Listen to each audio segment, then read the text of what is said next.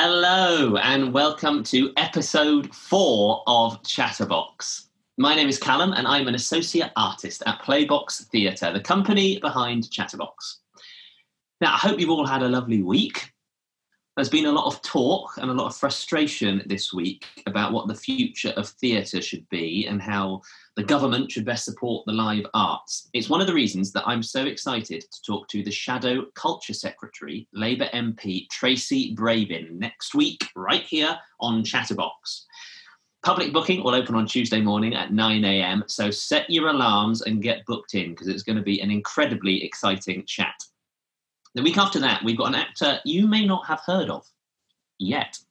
In 2019, BAFTA selected him as one of their breakthrough Brits, and he's about to star in a huge HBO sci fi TV series directed by Hollywood legend Ridley Scott.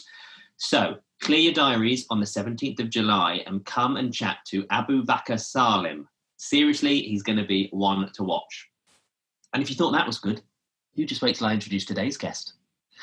But first, you know the drill by now, chatterboxers. We want you to get involved in these conversations too. So, if you're one of the lucky young people with me now in the Zoom interview, get those questions coming in. If you hover your mouse over the bottom of your screen on a laptop or the top of your screen on a mobile, then you'll find a button you can click to send questions directly to me.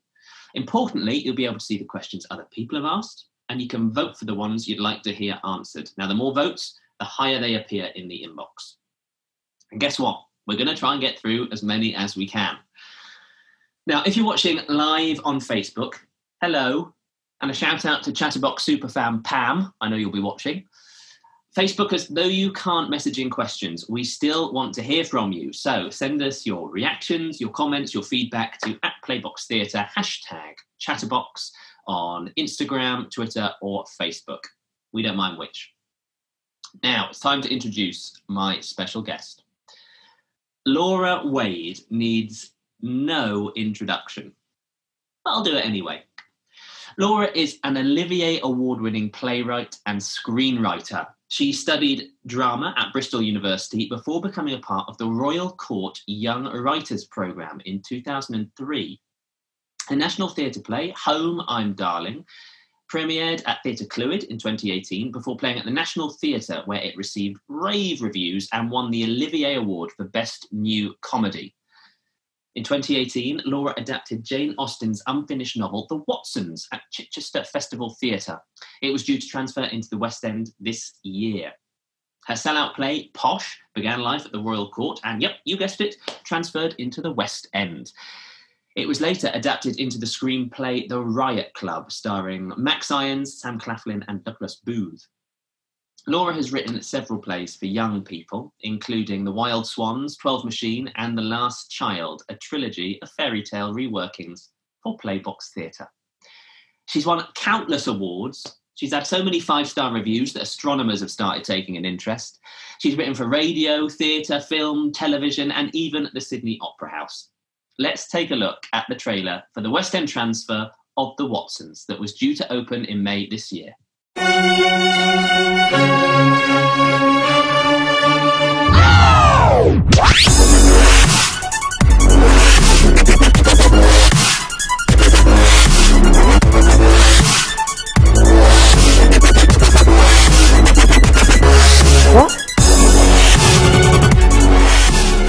So thrilled to welcome our fourth guest to Series 2 of Chatterbox, the remarkably talented writer, Laura Wade. Laura, thank you so much for joining me today. Hello, hi, thank you. How's lockdown been treating you? I'm not going to lie, I've not loved it. Um, That's like, fair enough. Um, you you kind of imagine that the thing that all you need to do to a writer to get them to write something brilliant is lock them away. Mm. Um, and, and, quite a lot of you know retreats and things are, are, are built around that idea. But um, I, actually, I sort of need to be out in the world a bit more. Um, so, and I found this talking to other writers I know. We've not really been finding it a particularly creative time. Um, which which seems a bit contrary, really. But um, I miss going to the theatre. You know, oh, my, well, my be on. So well, of course, and we will talk about that. Um, but that sort of feeling uncreative actually leads us quite nicely into our first question, which comes from last week's guest, the star of sex education, Aimee Lou Wood. She says, I have been writing, and I'd like to ask Laura how she self motivates on days when she's feeling like she's hitting a brick wall. Well, first of all, brilliant that she has been writing, given what I just mm. said. So, um, I mean, I think that's part of the job. The essential job of of being a writer is making yourself write. Mm. So it's it's getting to your desk, and then you can give yourself a little tick for getting to your desk, and then it's trying to stop reading the entire internet, and um, and and all of those things, and and, and getting started. And getting started is very often the hardest thing.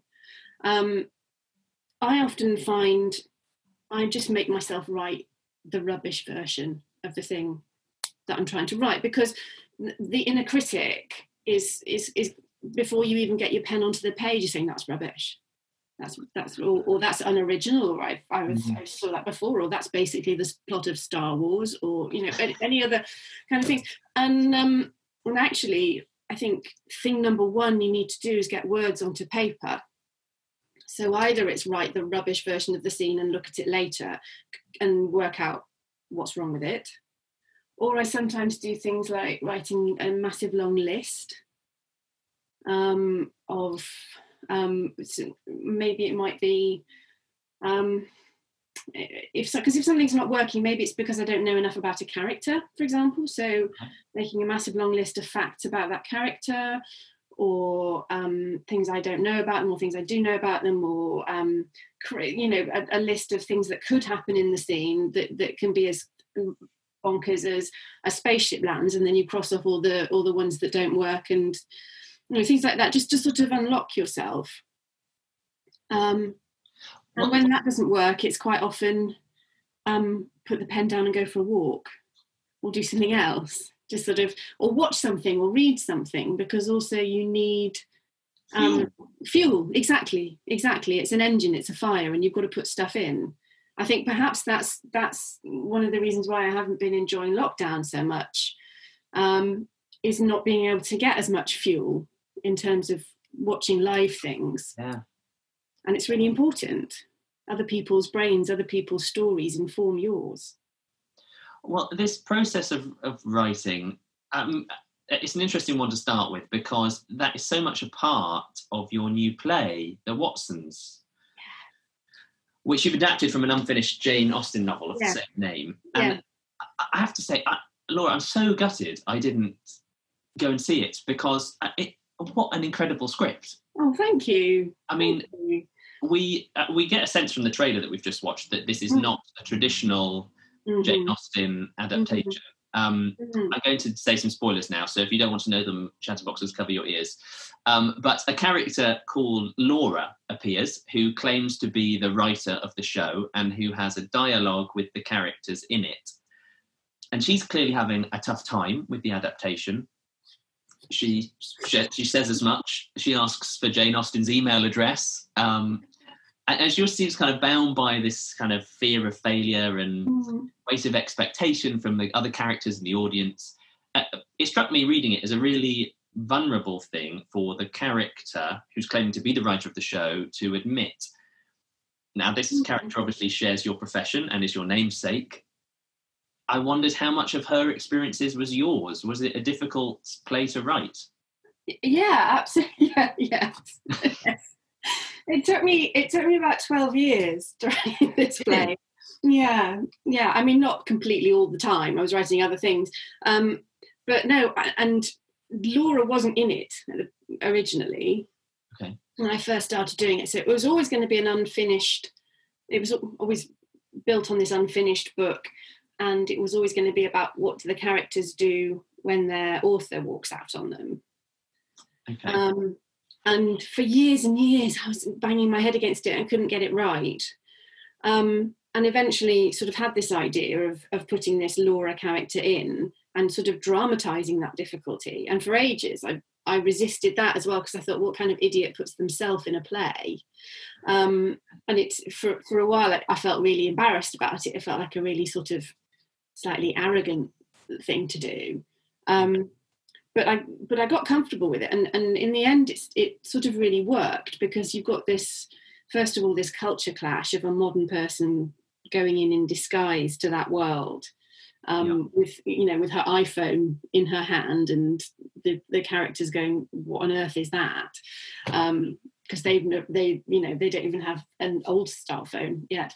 Um, and um, but just sort of being able to get in there and and being able to really yeah write through those difficulties and make them part of it um, just just sort of liberated it somehow. And so it is it is quite i mean yeah she's she's mostly me. I've probably actually tamed it down in terms of the um the actual sort of hand wringing and rolling around on the floor in a fetal ball trying to um because um you know it's still got to be fun to watch but um but it is absolutely that that kind of struggle and what it and, and what your relationship with your characters feels like as well um, well the Laura in the play says that she um she writes for theatre because she mm. likes the audience clapping which as anyone who works in theatre will empathise with is probably as truthful as it is kind of silly yeah. um but I, I wondered if that is a sentiment that you share with the character of Laura, I wondered whether you were ever ever tempted to kind of get super meta theatrical and play the role of Lyra, uh, Laura the writer yourself. No. No. that, would been, that, would have been awful. So, no.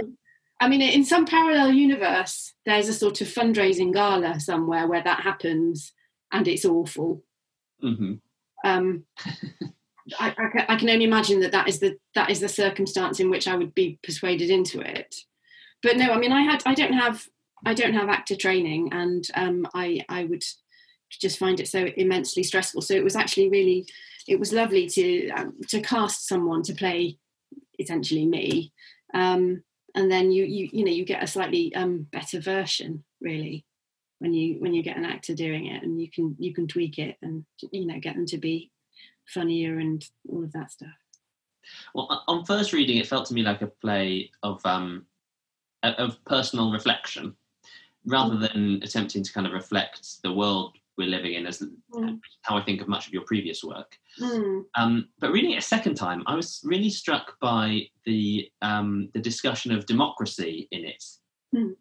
The, the, characters, there's a moment where the characters vote for what they want to happen, yes. and it is a dead 50 50 split, with one half of the room wanting to break from the distant governmental force, the writer, mm-hmm. and the other half wanting to remain in, in that arrangement. um, I, I, I wondered how important politics is to you whilst you're writing. Is it something that you're kind of consciously trying to um, express or uh, explore? I think so, yeah. It's, I suppose it goes right back to if the place it has to feel like it matters in order to be worth my time writing something and also the audience's time watching something. So i think you know and i think one of the the most important things that the theatre does is ask questions. And i'm much more interested in writing things that ask questions rather than are me standing in a box saying this is what i think about this and this is what you all need to do. Um, so it's it's kind of getting in there and the way that the way that being in a theatre with an audience can be like a kind of forum or an agora that you know we're all in there to debate something together or ask questions together. Um, and so it so it comes out of that really. So although i've never really written anything specifically about politics itself i used to go around saying i wasn't a political playwright. Um, but i think that was because i didn't really understand what it meant. Um, because I think you know the act of, especially now in the circumstances we're in now these days, you know, not just COVID but post Brexit, the act of putting something on is a political thing, um, and getting those people into a room is a political thing. So, so yeah. I would I would think of you as a as a sort of political mm. writer, even you know, Home I'm Darling, which. Yeah. Maybe wasn't on the surface about politics. Uh, you know, did I mean, it's sort of about Brexit, the kind of nostalgia around yeah. times gone by that was Absolutely. kind of weaponized in that debate. Yeah. Um, and Posh as well, you know, was kind of a, a much more overtly uh, yeah. political. Yeah. For anyone who's not seen Posh, so I'd love to talk about it, is um, it, it's a play about a fictional dining society at Oxford University called mm-hmm. Riot Club, mm-hmm. who routinely get drunk and smash up the restaurant that they're dining in. Um, but it's based on a very real secretive dining society at Oxford University called the Bullingdon Club. Previous members include two of our prime ministers, Boris Johnson, David Cameron. Um, it, it's a it's a play that shines a light on privilege, mm. and I, have always wanted to watch this. It opened at the Royal Court, which is famous for new writing, but is also in the heart of Sloane Square, which is one of the most privileged postcodes in London. Yes. What was that experience like of being a writer, sat in an audience amongst the people you were challenging? You know, did they recognise that you were pointing a finger at them? Yeah, they did. I mean, uh, a lot of them found it extremely funny. I remember standing outside with the director at the end of the in the in the interval on the first preview, going, "What what have we done?" Because everybody was guffawing the whole time and finding it all immensely funny, um, and um, you know, we we weren't sure that we'd got the tone right, really. Um, although actually, then when they go back in for the second half, um, it all goes horribly wrong. But um, you know, the, the, the interval point is the character standing on the table saying, "I'm sick to death of poor people." Mm. Um, at, at, which everybody sort of goes, "Oh yeah, very good, very good," and goes off and gets a gin and tonic. Um, you know, it's very deliberately provocative, but it came, it absolutely came out of the Sloane Square setting because we started off, the, Lyndsey Turner, the director, and I started off working on this idea of um, what did it mean that that theatre was there and the young kids who actually lived there who would sit on the steps at the front in the evening waiting to meet their friends but not actually venturing through the door and you know could we write something that included those kind of people as characters? Um, and also that was a bit more challenging of of that class because it hadn't been really looked at in in drama very much recently so that's yeah and, and the members of that in the play the members of that mm. society get up to some kind of pretty grotesque things mm. am i right in thinking that you spoke to members of the club and they said it's not grotesque enough I heard I heard various things. Yeah, yeah. Um, I mean, it's, it's it's very difficult to cut through all the swagger, you know, around that that kind of stuff. I mean, there are things that I heard about that were too that were too gruesome to put in. Really, right? As Well, um, and um, yeah, so it was, you know, researching it was was was strange, really, because it was about finding people who were able to talk in in the right kind of way about it. Um, and and quite often the most useful people actually were people who had been in some way kind of attached to the group rather than actually in it. Um, so yeah and it was always going to be it was always going to be a fictional club. Um, and people have an idea about that play that it's uh, you know which one's the Boris Johnson character, which one's the David Cameron character, um, and actually none of them are specifically supposed to be um, literally any of those people. Um, but you know we we built them as as young men at that at, in 2010 originally and then 2012 um, uh, and and created a club from scratch but it was quite interesting how many things that we thought we'd made up turned out to be, to be true. How interesting. Yeah. I, I, think, am I right in saying it was the result of a, a, quite a long research and development period with Lyndsey Turner? Yeah, it was. Yeah, we worked on it from the very beginning. It was wonderful, actually. It was the first time I'd worked that closely with the director from the start of something, because because the typical model with a play, for people who don't know, is that you sit in your room and you write it by yourself, and then you, the theatre decide to do it, and they fix you up with a director Mm. And at which point you you have to sort of in a sort of speed dating kind of a way, you have to get to know each other really quickly and and and try and sort of get the director inside your brain to understand where everything in the play has come from. Hmm. Whereas if you're working with someone from the very beginning, they know all of that.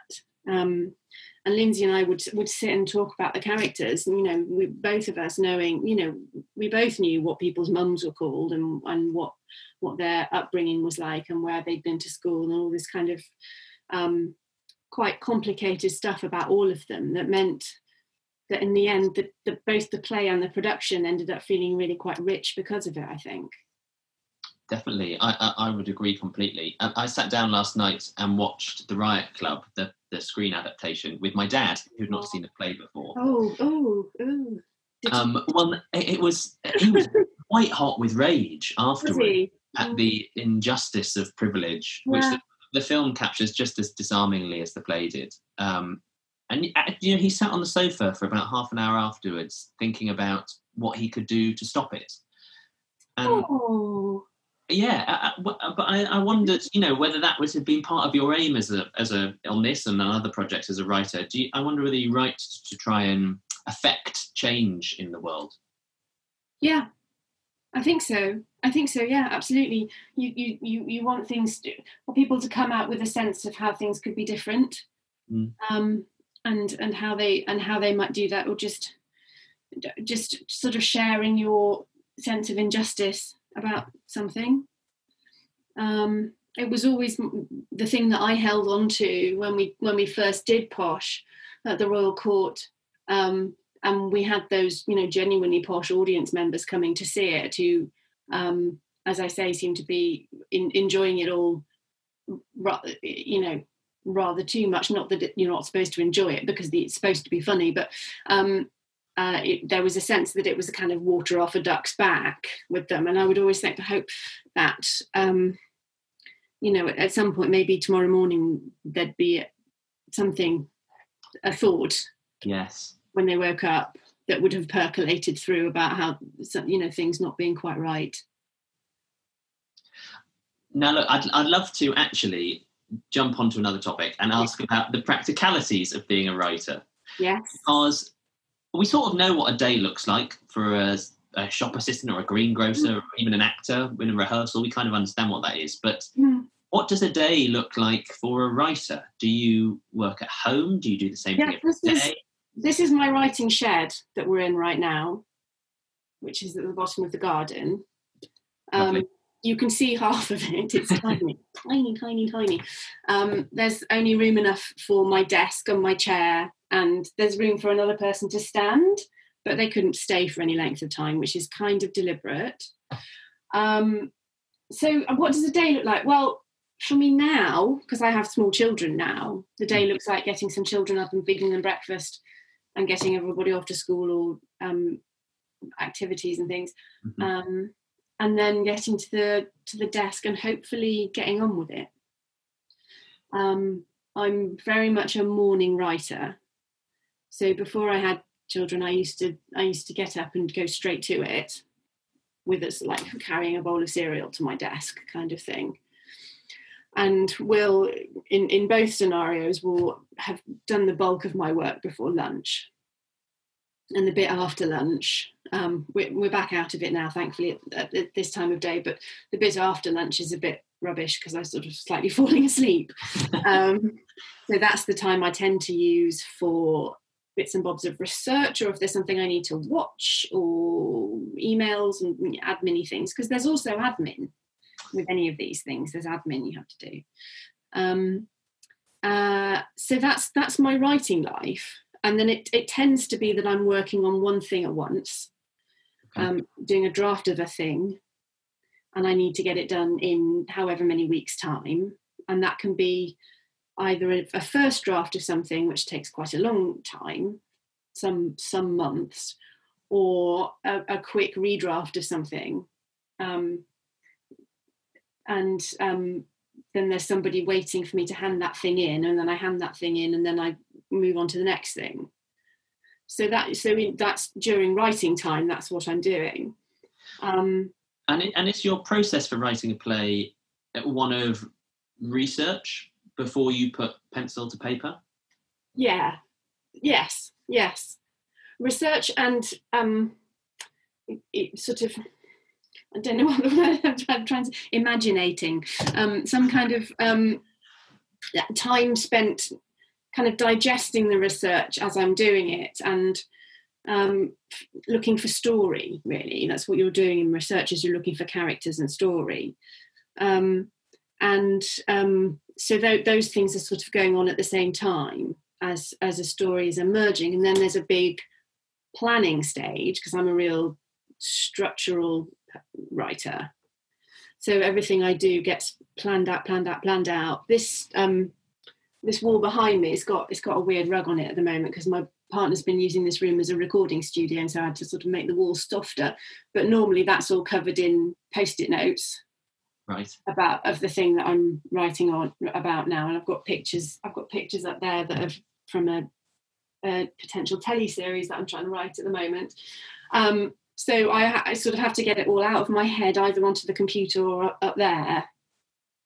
Um, and so that can go on quite a long time and it's it, it, can be quite a while until the point where i'm ready to actually write the play or the script at which point it can quite often come out quite quickly. Or if i've done the planning right it comes out quite quickly. Okay. Um, because the planning is all intended to make it flow. So if i'm sitting down I, I like that bit actually. When, I, when i've done my planning sitting down and I'm sort of pick, sitting down at my desk going, okay, I'm writing scene two today, and this is who's in it, and this is what needs to happen in it, and you know, get get a draft done. Um, and um, and how how soon do you let people read it? Do you show it to people halfway through a draft, or do you wait until after you've done a complete draft, or even a second? Yeah, it depends. At the moment, I'm tending to try and replicate that um, brilliant um, relationship I had with Lyndsey working on Posh the first time, um, which really got me into the idea of having a director on board quite early. So with Home I'm Darling, we did some initial workshops. I mean, the, the director was Tamara Harvey, and we did some initial stuff before I wrote anything again. And so with that, I was sending bits and bobs to her as I wrote them because she was already intimately involved with it. Um, if and and the same with the Watsons, which was my partner Sam was directing it. Um, so that so I was sending him bits and bobs. So I'm I'm if I've got a director or someone involved at that point, I'm not too precious about sending it to them early because otherwise it can feel like quite a hurdle actually to get over. Mm. If it's a whole complete script and nobody apart from you knows about it, and you've no idea if it's any good or not, it's a real sort of um, heart sinking moment to first show it to someone, especially if you send it to them and they don't read it for ages. And You're thinking they, hated, they hated it. they hated it. But yeah, I mean, and there's there's no there's no response to that that's quick enough. Mm. Like you, you sort of like thinking, how long does it take to read a 90 page script? Okay, well, it's been 90 minutes and they've not rung me, so they obviously hate it. Like, no, you just sent it to them an hour ago, for God's sake. We're having oh. a lunch. we haven't spoken at all about your route into the industry yet, but I'm, I'm hoping some young people will have submitted questions to that end. Um, but first, we're, going to bring a young person onto screen now to ask a question camera to camera. Um, a rich uh, technical magician is going to magic Lily onto your screen. Uh, now, Lily is a member of Playbox, the youth theatre who create Chatterbox, um, and she attends their Young Writers course and is a, a budding playwright herself.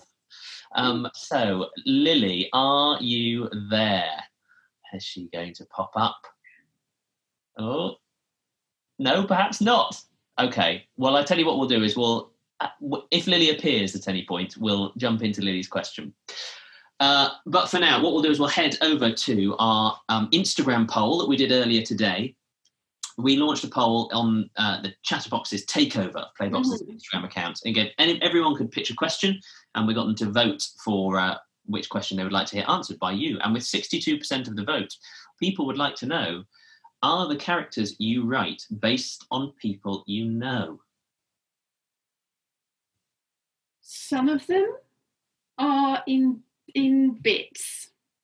So I tend to hide I tend to hide things in quite a sneaky way. Um, because I find the idea of someone watching something and going, oh, that's me, a bit horrifying. Um, so I tend, but I write down things that interest me about people I know. Um, and there's quite often a sort of, oh, here's Lily. Hi. Hi, Lily. Sorry about that. Hello, Hi. Lily. Hey, hi. How are you doing? I'm good. Sorry about that. I just had a bit of an, an issue, but hi. Hello. That's all right. We have to make do in these difficult times, Lily. Um, now, what is your question for Laura? Uh, hi, Laura. Uh, my question is uh, what was the hardest part of adapting your play, Posh, into a film? That is a really good question. Um, I think the, the hardest thing is how different a play and a film are. Um, and Posh, um, for people who don't know it, is basically pretty much one long scene of uh, 10 people having dinner over the course of almost two hours. And films don't really work like that in terms of their rhythm, in terms of the way that you tell a story in a film.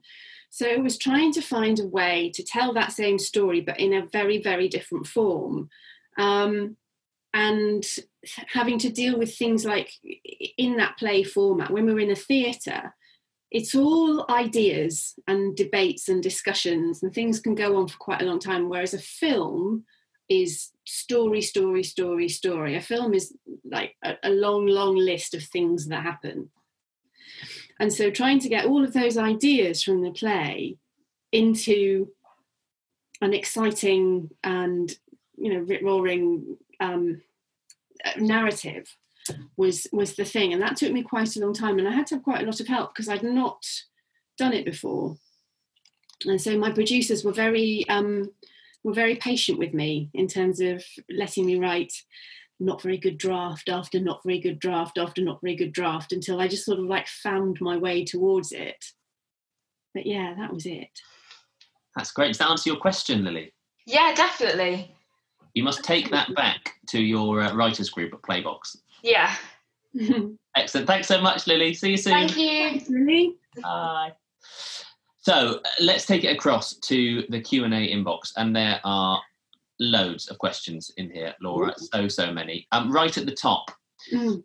with loads of votes, um, is from Amelie. She says, "What is your process like when first approaching writing a new play?" So we talked a bit about that, haven't we? About so um so yeah, res- it, Do they, does it come from an idea of yours, or are you off, are you provoked by a commissioner? Say, I'm usually um, it, it's usually something that I've had knocking around in the back of my head for a while.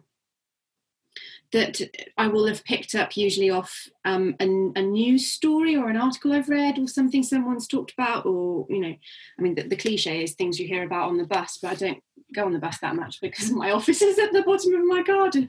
Um, but um, and it, it'll sort of noodle away in in the back.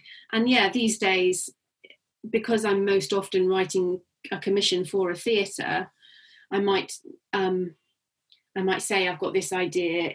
Does that sound about like the sort of thing that you're looking for? Um, and you know, if they say yes, then I might you know write it for them.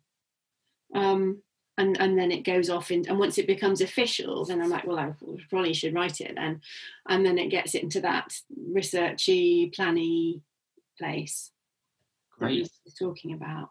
Yeah. fantastic.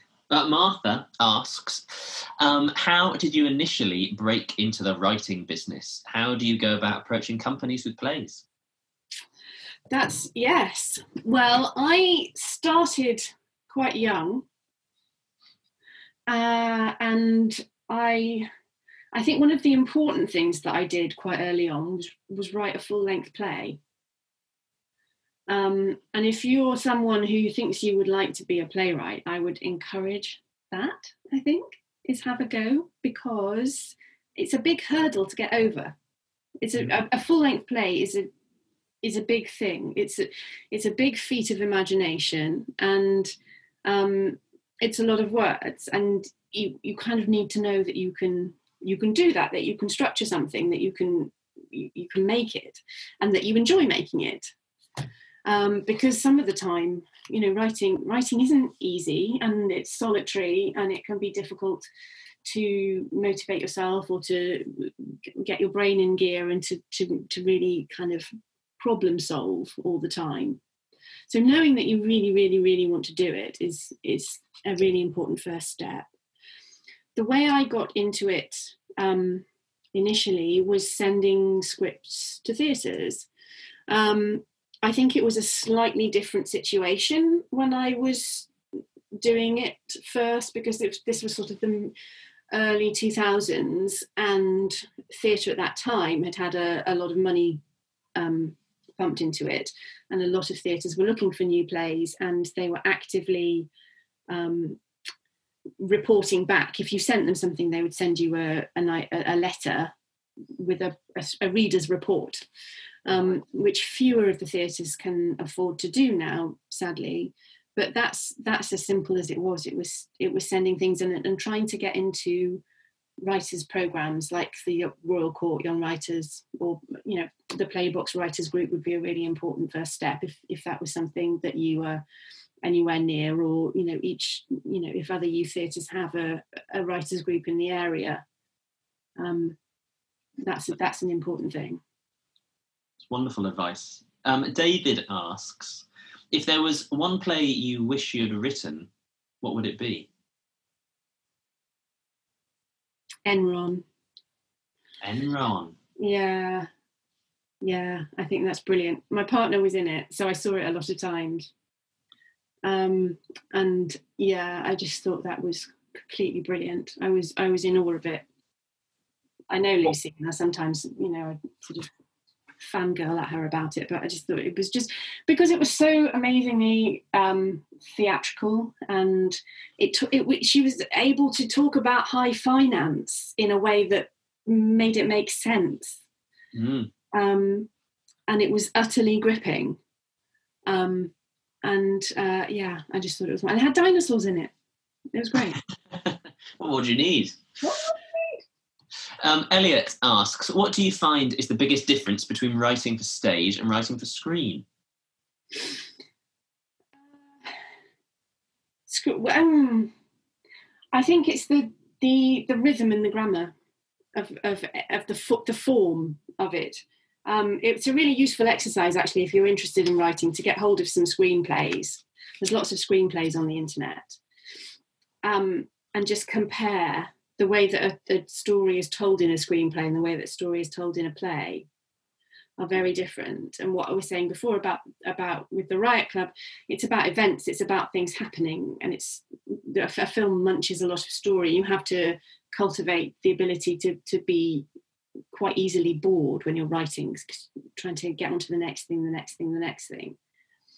Um, whereas a play has a much kind of looser structure somehow, and you can you can all sort of sit and take a bath in an idea together. Um, uh, but also, you know, plays people people pretty much stay in the room. So you so you've got them that you've got them there, you know, you've got them there. So whereas with a with a film, um, you know, they could just they could just walk out, particularly by the time it's on the telly. So you've got to keep keep it interesting. Well, that's that sort of links into a question here from Haresh, who says, for an aspiring writer, do you think it's better to start writing for stage or writing for screen? Mm. I would say go with the thing you love doing. Um, I, th- I think it's possibly simpler to get a play on. Although actually that's not true anymore. That I'm, I'm you see, I'm talking about what things were like at the beginning of my career, but now we live in a world where you can make a film on your phone. Mm. So and and you know, award-winning films have been made on someone's phone. So there isn't that kind of barrier of breaking into a thing. So I think choose the form you really love. Sometimes you know you find young writers sort of struggling along in the theatre when actually they really would prefer to be writing for film. And it's that you might as well just go on and do the thing that you really you really want to do. If that if that form if suits your writing better and if you really love that more you know which which is the thing that you want to do all of the time mm. in terms of you know I, I wanted to learn um, by going to the theatre every night in my 20s almost every night. Um, and so that you know that's what I did. I missed lots of really great films, but um, you, you know, so you know, what's the, what's the thing that you really love? Because I think actually both things are are equally easy or difficult. Great. Follow that thread of passion. Yeah, yeah. Um, Scarlett asks, and this actually links into a question from uh, Barney as well. So I'm going to try and combine two questions here. Um, Scarlett asks, in regard to Posh, mm. she says, what aspect do you think is important to emphasize for an all female cast? And Barney sort of adds to that, saying um, uh, he felt that the uh, maleness was sort of intrinsic to how we judge them and their behavior. And he asked if there was a difference in watching the all female cast, which mm. I think there was a, an all female version. Was, yeah. Yeah. There was. I think the thing, and I'm, I'm all for people doing gender switched versions of it or whatever, because I've, I've lived with the guilt of having written that many good parts for boys. Um, when there are so many wonderful young uh, female actresses around. Um, and I think at that point I sort of swore that I wouldn't ever again write a, a play that was so sort of strongly male skewed.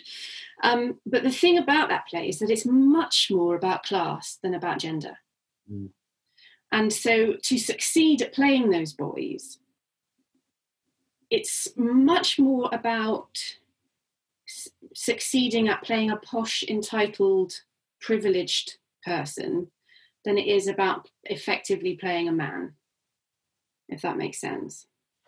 People who play the, the actors I've seen who play those characters the best are the ones that who, who can get the the ease with which those boys are able to move through the world so that you don't it's really important as an actor attacking those characters that you don't ever treat them as a caricature that you don't ever send them up because the script sends them up. You just have to sort of go go into it through the character and live their world and understand that you know they think they've got problems. So you have to you have to in, inhabit that person, um, and but just that you know the way that they walk into a room like they own it. You have to be able to to do that, and if you can do that, it, that's much more important than you know rolling up a sock and sticking it down the front of your trousers, kind of thing. Very good, excellent. Um, Ruby asks, uh, what is the most difficult part of the production process apart from the writing? Uh, the most difficult part, I think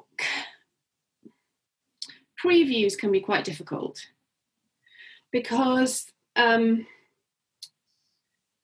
there you say you only have a few previews to get it right and if there are problems with the play you're trying to to change things in a much quicker way than you have ever during the process before mm. um, so uh, if you if you you know there's something wrong with scene three and you've got to try and rewrite it you know preview one is on monday night and you're doing preview two on a tuesday night and you're trying to write something overnight and then rehearse it the next morning and get it into the show so you can see if it works. And it's quite easy to get into sort of panic mode at that point. and um and the work that you do you have to be really careful to make sure that it's as deep as the work that you did two years ago when you were writing the play at your leisure and yeah. there wasn't an audience turning up to watch it at 7.30 that night so it's it can be a real exercise in holding your nerve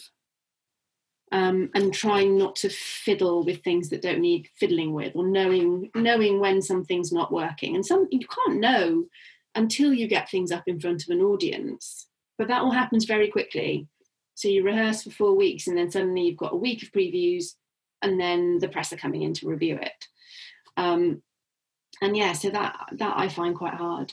Sounds like quite an intense little yeah yeah yeah it can be and and for the first time it's very much the cast are over there behind the curtain and you're in that you're there in the audience and that's quite that can be quite um exposing as well particularly if they know who you are. But even if they don't know who you are, I, have there, there have been times when I've been sort of stood in the loo queue at the interval, trying not to listen to people saying they don't like it. It's horrible.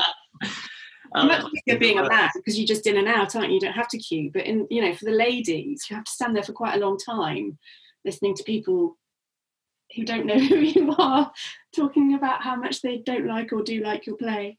Do you ever start conversations about it and sort of provoke?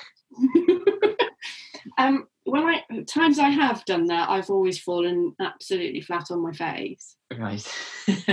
I've either ended up sort of outing myself and then massively like um, embarrassing the person, or just sort of like weirdly pretending that I'm a costume assistant and then just just sort of like to run away before the questions get too difficult. Um, so no, I tend to sort of I keep my headlights really dipped and try and get out as quickly as possible. well, speaking of difficult questions, here's one from Martha who says, given uh, given the current climate, do you think writers should begin to write with social distancing in mind, or at least with an idea of what the future of theatre could be? That's a really interesting question, Martha, and I haven't solved it in terms of my own writing. Um, it's really difficult to know how, isn't it, how long we're, this situation is going to go on for. I suppose, yeah, if you're being pragmatic, um, you know, the um, the show that the Old Vic are doing at the moment, Lungs, mm. that they're performing in um, in a socially distanced kind of a way with no audience um, was written as a play for two voices with no stage, no set. Um, and it works brilliantly. But you have to be quite careful that that your idea fits if you were trying to do something like that that your story idea fits with that kind of form um, so i it might be good to have something up your sleeve. Um, my hope is that sooner rather than later we get, if we all hold our nerves long enough, we get to go back to watching plays properly. Um, as, as, in, you know, some sitting because because I think that's one of the very particular things about it is being in that room all together, um, and being part of an, a, an audience, a large audience, um, and and actors being able to touch each other um, but nevertheless, if you have an idea that would fit the other kind of writing, then it's not like nobody's going to put it on. We just have to hope things. It's really good. You know, change, yeah. don't they? Yeah. Soon. Yeah. Um, this is a question from um, Erin, who says, "It's a really great question. I'd love to know the answer to this. Any tips for when you have a few ideas for writing but aren't sure how to get them, uh, expand them from a post it note into a proper story? Mm. That is a good question because quite often things sound really good on a post-it note, don't they? And then it yeah. turns out that you haven't got enough. I mean, I find those those ideas can take me quite a long time to. Um, I'll, I'll tend to start a new file or a new notebook for each idea and add to it when something comes to me. And that's usually some time before I come to be actually writing it, that I'm writing something else.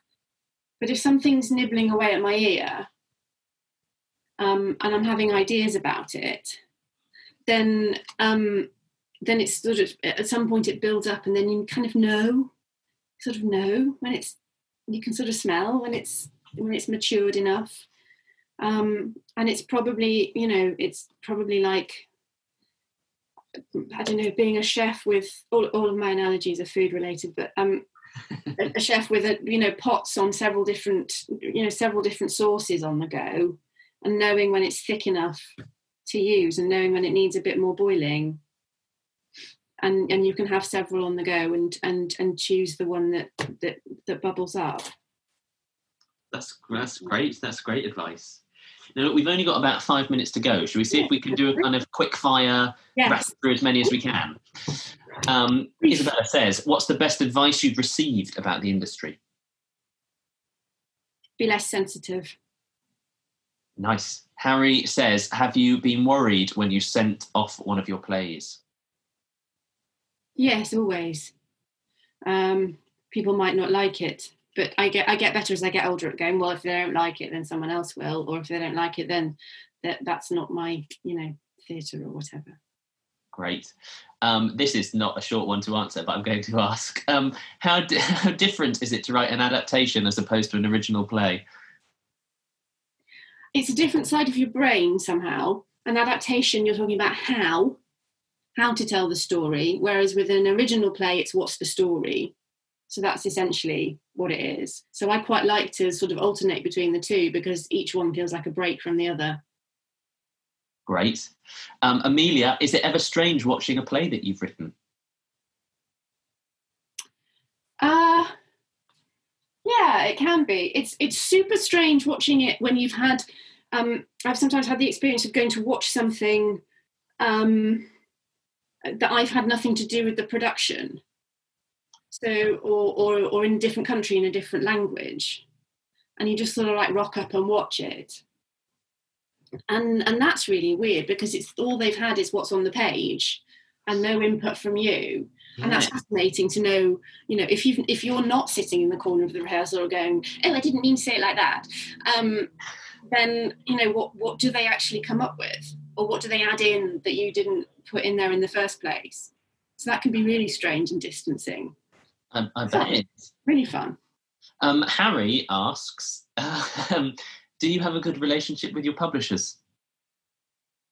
Yes, I do. Um, uh, I, I like my publishers very much. Um, I've had the same publisher the whole time. There are very few publishers that um, publish play scripts. Um, I think it's a different relationship from uh, an, a novel and a novelist and their publisher because obviously then the editor is sort of helping yes. decide what to. Whereas if you're doing a play, the director and the company are are sort of helping you with the that editing function. Um, so, but um, but yeah, it's quite. Ask, with your publisher, are you um, are you quite precise about how it should be appear on the page? Yeah, yeah, I'm I'm a pain. I am a um, I am a, a massive punctuation pedant um, because you want it to look you want it to look right. You want it to to mm. read right. Um, so um, so yeah, there've been there've been various times when I've been published, but in uh, other countries where I've found the the text sort of gets squished up and looks you know different, and it doesn't it doesn't read as fluidly as I would like it to, and that that makes me upset. Um, Emily Pepper asks, "What's the favourite thing you've written?" A difficult question. Oh, that's like asking me which of my children I like best. I can't. Um, uh, probably the, pass, probably like. the Watsons. Probably the Watsons, because it took so long to write and it was so painful along the way and then turned out really nice in the end. Lovely. Well, the last question yeah. is going to be from me this week, uh, only because it links to the Watsons there. On the penultimate page of the Watson script, the character, Laura the writer, says to the protagonist, Don't ever feel embarrassed to call yourself an artist. Why shouldn't we feel embarrassed to do that? I think the le- the next line isn't it something like "plenty of worse people have" and and not worried about it. Yes. Yeah. Some. Yeah. Something like that. I think it was. It was in particularly that was particularly me talking to all the young women in the audience about just owning your voice and believing yourself to be worthwhile as a storyteller and as a voice on on stage and that you've got something to say to people and not to feel um, embarrassed or apologetic about that. Um, because it's because your voice is really important and you know pe- people should hear it. Um, and that yeah, we can we can be very sort of um, funny about admitting that what that what we do is art and um, yeah, I think it's just about kind of owning it and, like I say, taking up some space. I think that is a lovely note to end on. Um, that just about concludes episode four of Chatterbox. But before we wrap up, Laura, I wondered if you'd be kind enough to share your lockdown list with us. A few things to keep us stimulated in isolation. Yeah. So, well, it's one. It's one main thing, really. Great. Which is that um, my children, who are six and two and a half, have been obsessively listening to the soundtrack for the show Matilda ah. um, recently, and through through listening to that with them, and they haven't seen it, and I'm absolutely praying it comes back because the eldest one really wants is desperate to see it now. Um, but through listening to that over and over and over again with them, just enjoying so much how smart the lyrics are. Yeah. And it reminded me of when I was a kid and uh, we had a few records of things like Phantom of the Opera um, or Joseph and his amazing Technicolor Dreamcoat, and we had printed out lyrics that came with the, the record. Like the people listening to this probably seen a record, um, but um, this is you know a long time pre Spotify. But I used to sit and, and read them, and so many amazing idioms and words that I hadn't met before. Um, I, I, came across for the first time in those lyrics, and um, it just made me think that that that would be a really worthwhile thing to get interested in in song lyrics. Find because you can find everything obviously now on the internet. You can you, you can find the lyrics to, to to, anything you like. Just notice how how clever particularly if you're interested in writing how cleverly the the lyricist has has told you the story or what the character is feeling or doing um, or you know something like Hamilton as well, incredibly yeah. smart lyrics. Um, so that that was my yeah little. That's great. Thank you so much for for sharing that. Um, now that is all we've got time for today. But join me same time next week when I'll be talking to the Shadow Culture Secretary, herself a former actor and writer who became MP for Batley and Spen in 2016 after the murder of her friend MP Jo Cox. It is of course the remarkable Tracy Brabin. Now, in the spirit of keeping the creative conversation going week to week, I think you've got a question for Tracy. Is that right? I have. Yeah. Yeah. Um, I'd like to ask her if she had two minutes alone with the Prime Minister right now, what mm. would she say to him about saving our industry? That is a great jumping off point for next week that big, but there we go. well, tune in to see how Tracy answers that one. Um, if you've enjoyed today's episode and you want to catch up on any of our previous episodes, you can head over to youtube.com forward slash playbox theatre, where you'll find interviews with star of Downton Abbey, Phyllis Logan, multi award winning Hamlet, and star of I May Destroy You, pa- Papa Essiedu, or even the star of 1917, George Mackay. And don't forget, we'd love to hear what you think. So please send us your thoughts, reactions, and feedback to at Playbox Theatre, hashtag Chatterbox, on whatever social media channels you like to use. Um, and before we wrap up, just a quick reminder that Playbox Theatre, the youth theatre who produced Chatterbox, are in the middle of a £50,000 fundraising appeal that is absolutely critical to their survival. So if you've enjoyed this episode and want to support the company who make it, please head over to justgiving.com forward slash playbox dash theatre. All that leaves me to do is to say a final thank you to Laura Wade for joining us today. Thank you, Laura. Thank you for having me. And thank you to all the Chatterbox partners up and down the country. We couldn't do it without you. And thank you to all of you at home for watching. Till next Friday, stay creative and see you soon. Goodbye.